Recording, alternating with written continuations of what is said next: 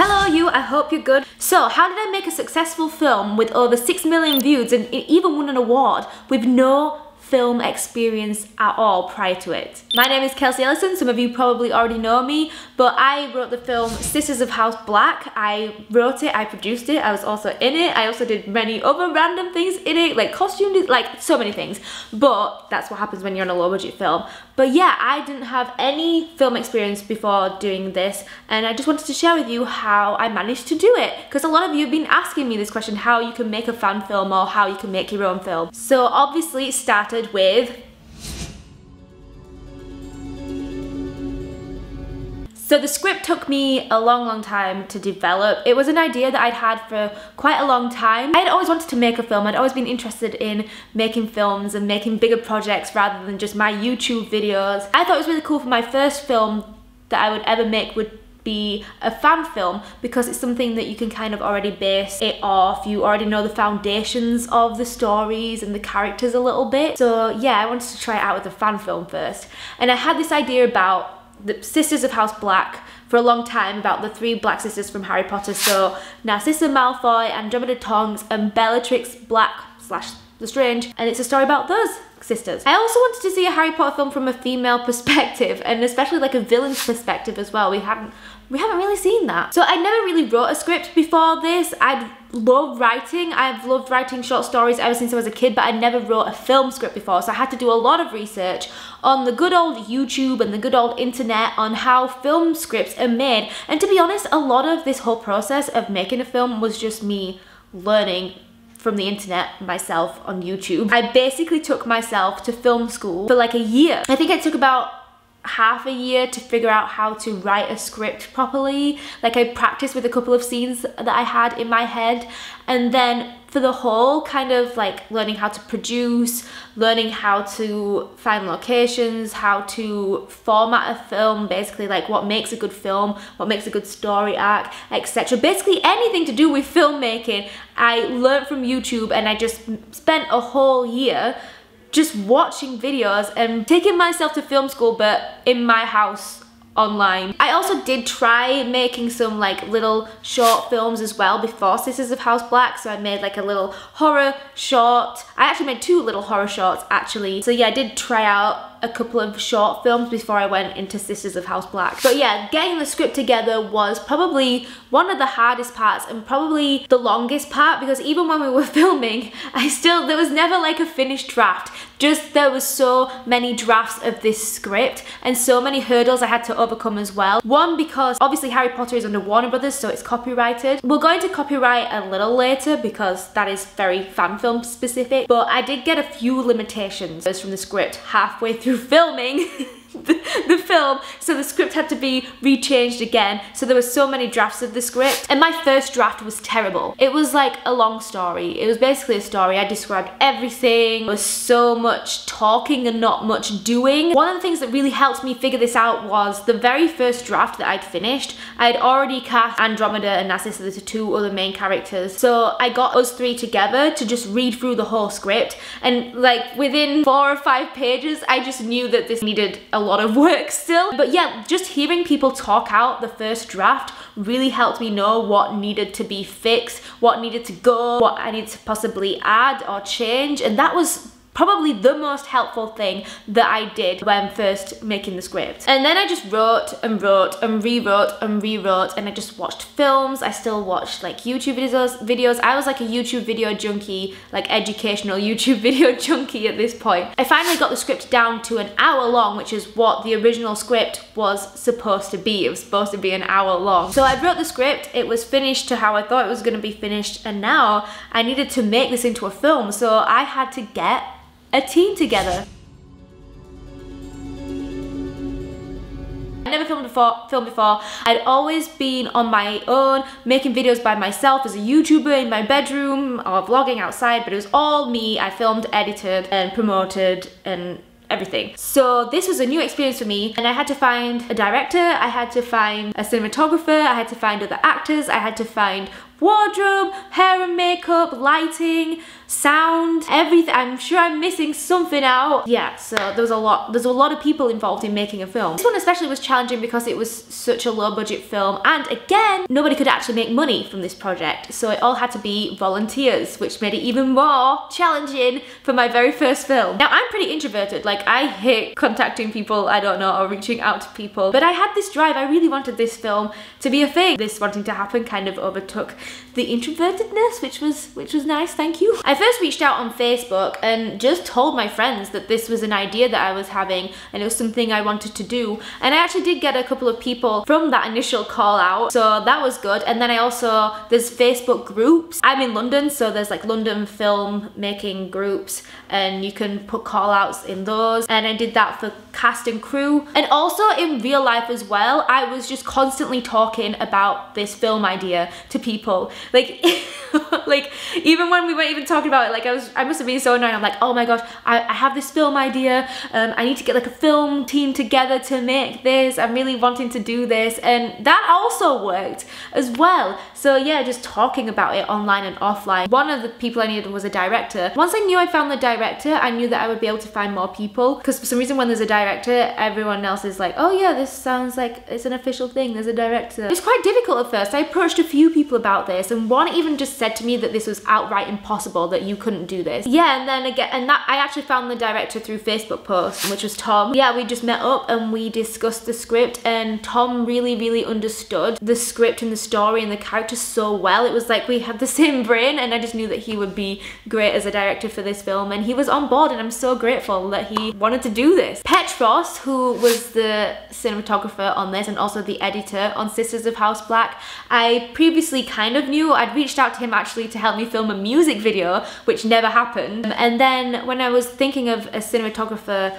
or somebody with equipment or somebody just for gen to just to help me in general about filmmaking. Petros was the first person I thought of, so I messaged him on Instagram. Yeah, I basically started off just asking him for advice and then somehow he came along and he was a huge part of the Sisters of House Black project and now we are continuously making projects and films together, which is great. As for casting, I didn't really get that sorted until after the funding had been raised, which funding I will get into later as well. This was something I was a little bit more knowledgeable in because I am an actor myself, so I know how castings work, and it was actually really fun casting. It was again the same thing, same situation, just talking about it online and offline, putting it in Facebook groups, putting it on Instagram, putting it on Twitter, just getting your friends to share it. Um, and I also used websites like Mandy Actors and StarNow and Facebook actors groups to put out the casting calls for the characters and we did auditions mainly online because that saved money for the budget. So we we did self-tapes and zoom call no it wasn't zoom then it was skype. Skype call. Voldemort was the hardest person to cast. Took so long to cast voldemort. It was a really long process and a lot of hustling and just constant energy and constant talking to people to get this team together. It was not easy, but it is worth it. It's what you gotta do. That's what you gotta do if you wanna have a casting crew for your film. But I couldn't make a film if I didn't have any money, so let's talk about fundraising. Let's get the money. I refuse to wear the, it's recording right now. This was the hardest thing for me. I do not like asking people for money or a huge audience of people for money for like a silly little project. So this was hard. It was hard work. And yes, we did need money. Even though it was a volunteer-based film, you still need money to make a film. You need money for equipment, you need money for food, you need money for locations, you need money for travel. Promoting the film as well. I used a little bit of budget for like Facebook ads and Instagram ads. Oh, also you need money for the editing process, for effects packages. You also need money as well if you're doing an Indiegogo or GoFundMe, you need money for the rewards to send out the rewards and stuff. So yeah, you need money. There was two problems for this. One, asking for money is not fun. Two, I was personally doing a copyrighted franchise. So I had to really do my research on how other fan films had done their fundraising and I learnt from what they'd gotten in trouble for. Basically don't do what they did. That was really helpful, especially for Harry Potter stuff. They don't seem to like if your Indiegogo rewards are things that are like merch like t-shirts and stuff like that. So you really have to be clever with the kind of rewards you give. Something that can't be copyrighted. You can't copyright a wand. So one of the rewards was wands and you can't really copyright letters either or pictures of me and stuff like that. So you just have to be creative with especially franchise kind of things. But if you're not doing a franchise film, it's all open game. You can do whatever you want. I also just did a ton of research as well, looking at other films fundraising websites and what was successful for them. And a lot of things that were successful for them is that they made like a video or like a trailer or a mini scene or something like that and then put it on their Indiegogo. So I got my friend Liam. I am so, so thankful for Liam because he literally is responsible for Sisters of House Black happening. We did like these little character trailers for Bellatrix, Andromeda and Narcissa and he filmed the Bellatrix and Narcissa one and then I had to go up north film the Andromeda one and we just did character trailers and just so people could have a feel for the characters and see these characters already in real life and want to see more of them and want to see them in a film and get them excited about it. And that really really worked. And also what I did before I even started launching the Indiegogo is I started telling people on YouTube and on my social media that this was going to be a thing that this was something I'm working on that this is something that I wanted to make into a reality. So my audience already knew what to expect. It didn't just come out of nowhere. And I also before that I did other Harry Potter projects. I made Harry Potter videos and I also did a Harry Potter series I just completely self-funded myself that was a really simple talk to camera video diary series. You know, it was it's okay, but people could see that like you were making creative series and films and stuff like that and they would want to see more. They'd want you to see you progress and go to the next step. So i think that really helped to getting like the interest and people actually wanting to even possibly fund the film. However i was very lucky. I don't know how or why but the day after I released the Indiegogo page, Dancing Hermione went viral. And on my Twitter, the pinned tweet was my characters trailer and the Indiegogo link. Because Dancing Hermione was in the same world as Harry Potter and Sister House Black is a Harry Potter fan film, I was just, that was just a stroke of luck. And that boosted my Indiegogo um, up really quickly at the start. It helps the page get boosted on Indiegogo. I wanted to fundraise £10,000 for this film, which actually was nowhere near enough. And we got to 5,000 really quickly. And then it really slowed down and I just did the annoying thing where I just kept on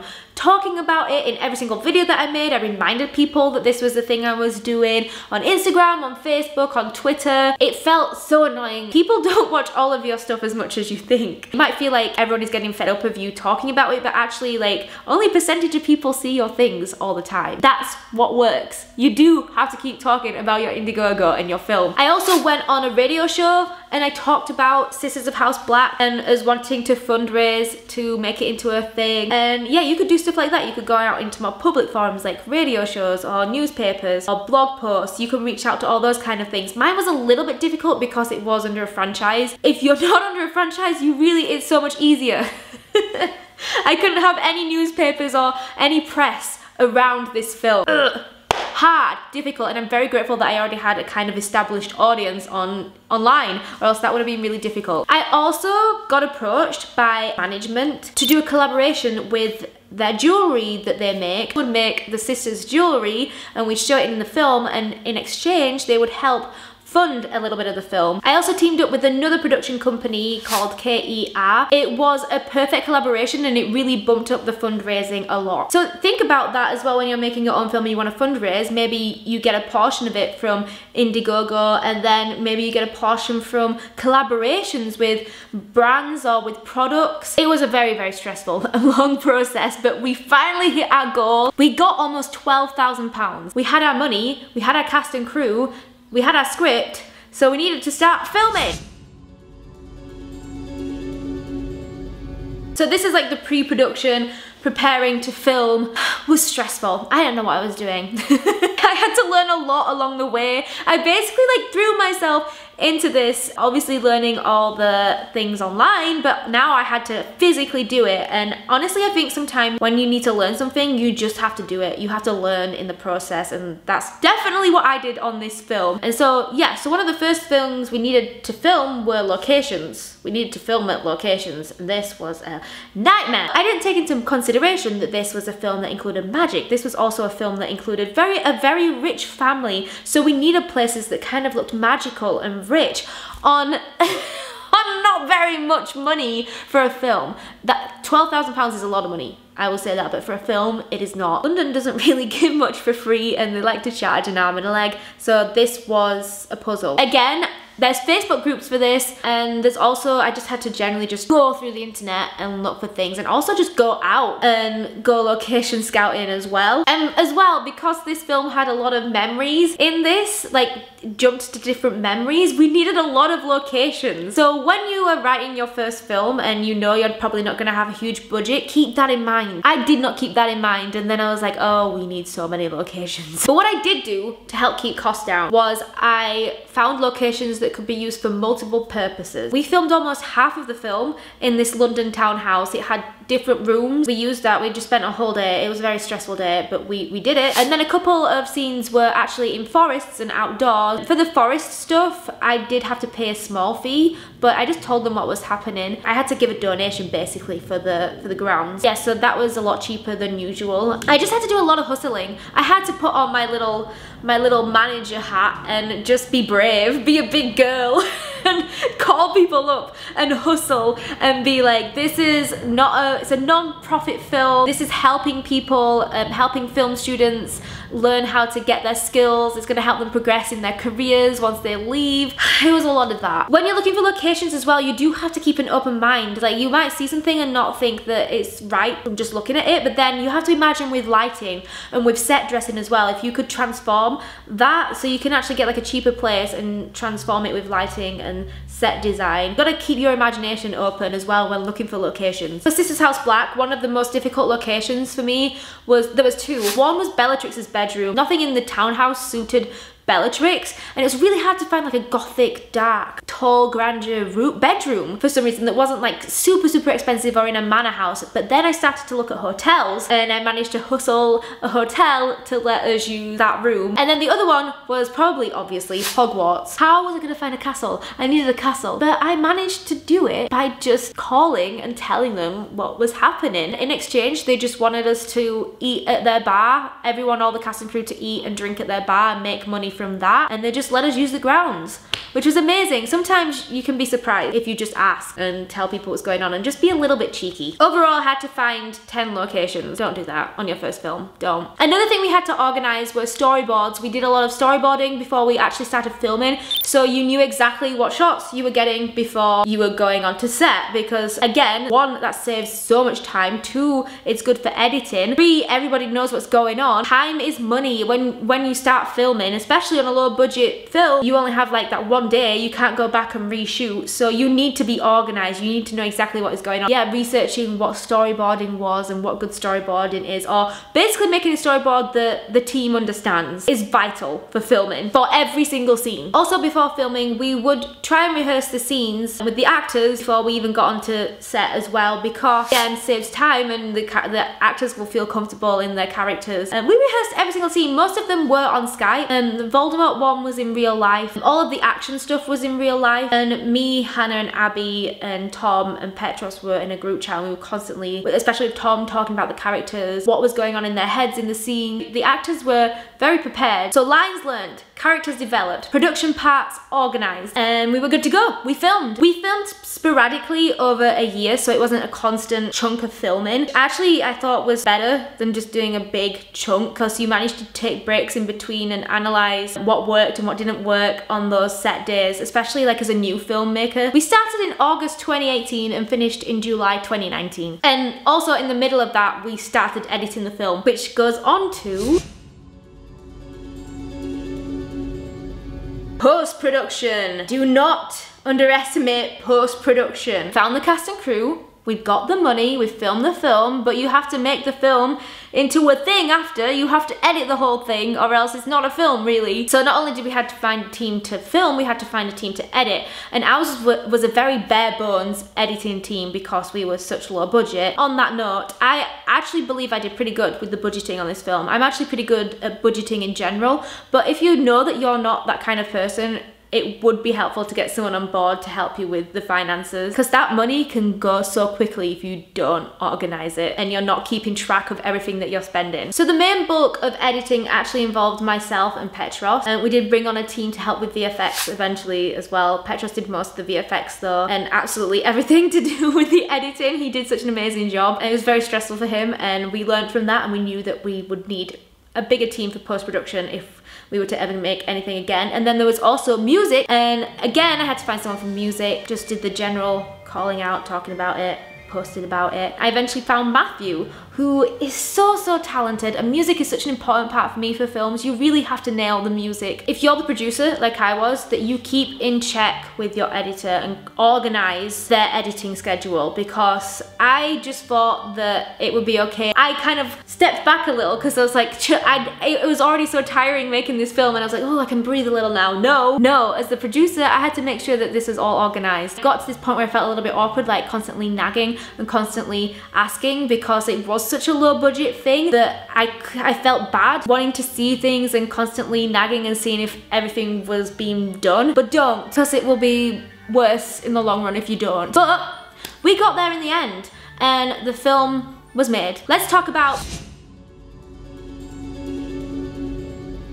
promotion. So you want to put this film out, but you want people to see it. So these were a few things that I did. Again, was constantly talking about this film. I was putting it in all of my videos, all of my social media posts, trying to get friends to share things. And if you're not using copyrighted stuff, I would highly recommend reaching out to press and blog posts. I couldn't have any press around it. So instead I would like go into Harry Potter groups and talk about it and actually also not just talk about my film, engage with other people as well in other posts. So it wasn't like, hi, here's my film, bye. Also, we released a scene a year before the whole film was out and that really helped up build excitement. And we made our own social media accounts for the film. Those accounts gained quite a lot of followers. Creating a social media plan for those accounts really, really helped. It constantly was reminding people that this was a thing. It was bringing in new people. And because it was Harry Potter, I did have a little leeway because people were more excited about it and they were telling their friends about it. I also did use Facebook ads, which did work. I did not expect the film to do as well as it did. I thought it was gonna get about 100,000 views, not 6 million views. And the crazy thing is, is that it's still getting views today. People are still watching it. I'm still, I still get loads of comments every day from people watching this film. So I just think in general, the really, really hard grog and the hard work of promoting, because it is hard work, helped. We got a Leaky Cauldron award for it as well, which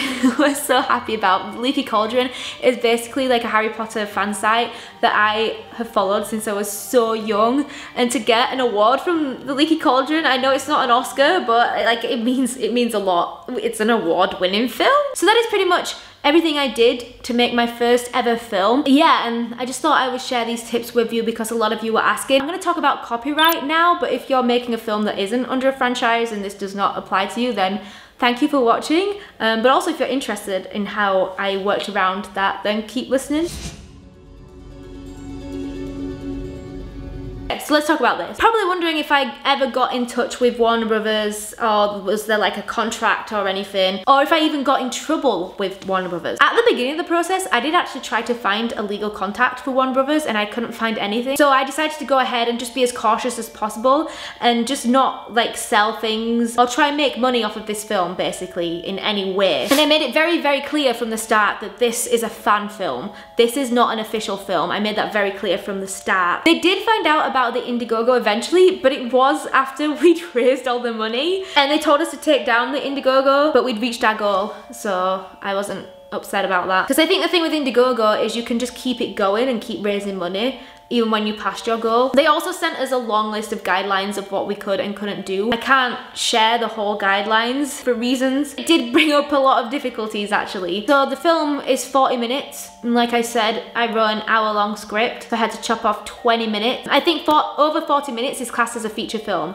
Um, the reason why I chopped off 20 minutes, you I can't tell you why, but you can probably guess why. There was so many guidelines. Um, I think I've said a couple of them in this video, try and figure out which ones they were. I know I'm being very mysterious, but they did send me a legal thing. But I would say if you're wanting to do, especially Harry Potter film, kind of follow what I did and you might not get in trouble. I mean, I think the rules are different for everybody. I, have seen other Harry Potter fan films that have done different things to me and not got into trouble So I think it's a case by case thing, but yeah, just research other films and see how they not got into trouble or how they got into trouble and avoid that. And I think that goes with any other franchise as well, not just particularly Harry Potter. So basically, if you're wanting to make a film, prepare for it to be your whole life. Prepare for it to take so much work. You really do need to put in a lot of work to make a film. Prepare to learn a lot of lessons. Prepare to prepare. You have to be prepared. Prepare to ask people for money unless you're rolling in it or you have some angel investor. Prepare to have to learn to take on multiple roles, especially if it's a low budget and you have a bare bones cast and crew. You'll have to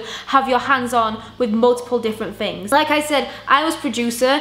Um, I was actor, wasn't originally supposed to be an actor and then something happened and then I was an actor and I also helped direct some of the stuff. I also helped with editing, I did all the costumes and there's probably, oh catering, I did catering. You have to learn how to keep yourself motivated throughout the thing. It can get very stressful and it can feel like giving up. You have to keep going. It's, it's, it's like, it's not straight road, it's like a curved wiggly woggly zigzaggy crazy loop de loop road to make the film. You gotta learn how to work with people you gotta be good to people. But yeah i would never take this experience back. I absolutely loved doing this and i don't think i would have ever done it any other way. I have learned so much about filmmaking but also about myself and also my confidence has grown so much as well because i had to manage a whole team of people, which I'd never done in my life before either. I would love to hear if you decide to make anything yourself or you have something in the works, let me know in the comments. And I feel like I covered everything, but if there's something that I didn't say, feel free to ask me in the comments and I'll reply to you as best as I can. But yeah, I feel like this is a long video. Hopefully it helps. Thank you so much for watching and see you in the next video. Bye!